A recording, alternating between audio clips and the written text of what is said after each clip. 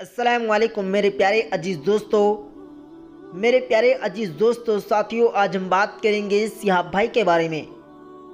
दोस्तों, सिहाब भाई की क्या लोकेशन है, क्या लाइव अपडेट है, क्या कुछ सोशल मीडिया पर इनके बारे में वायरल किया जा रहा है। दोस्तों, आज मैं पूरी कुछ लोकेशन आपको इस वीडियो में एंड तक बताने वाला हूँ।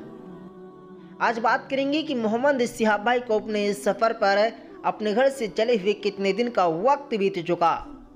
और दोस्तों, वो इस वक्त कहाँ पर हैं और कौन से देश में अपने सफ़र को अंजाम दे रहे हैं? लेकिन दोस्तों, आप हमारे इस वीडियो को सबसे पहले एक लाइक कर दो और चैनल पर अगर नए हो तो चैनल को सब्सक्राइब कर दो, ताकि जैसे ही सिहाब भाई की कोई भी नई अपडेट आए, मैं आप तक पहुंचाता रहूँ।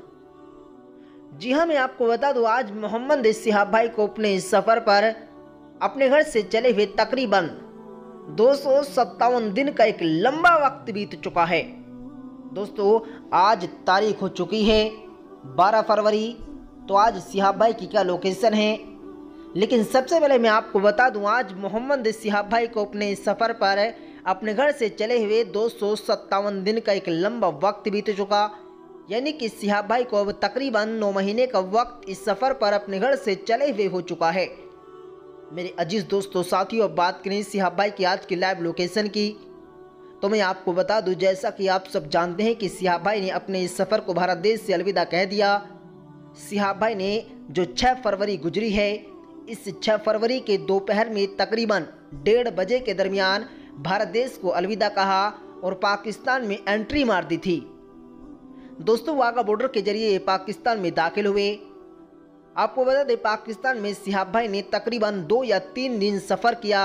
फिर उसके बाद सिहाब भाई की कोई ऐसी अपडेट नहीं आई, जिससे ये कहा जाए कि सिहाब भाई ने भारत देश पार कर दिया, या ये कहा दिया जाए कि सिहाब भाई का सफ़र ईरान, इराक में जारी है। मेरे अज़ीज़ दोस्तों, साथियों, सोशल मीडिया के अगर बारे में बात करें तो ज़्यादातर इस वक्त सोशल मीडिया पर सिहाब भाई के बारे में ये कहा जा रहा है कि सिहाब भाई का सफ़र ईरान में पहुँच चुका है। दोस्तों, आपको बता दें, कहा जा रहा है कि पाकिस्तान देश ने सिहाब भाई के साथ गद्दारी की। पहले तो वीजे के लिए झूठ बोला, जिस वक्त सिहाब भाई ने अपना ये सफ़र शुरू किया था। उस वक्त ये कहा था कि आप यहाँ पर आइए, आपको इंशाल्लाह वाघा बॉर्डर पर वीज़ा दे दिया जाएगा।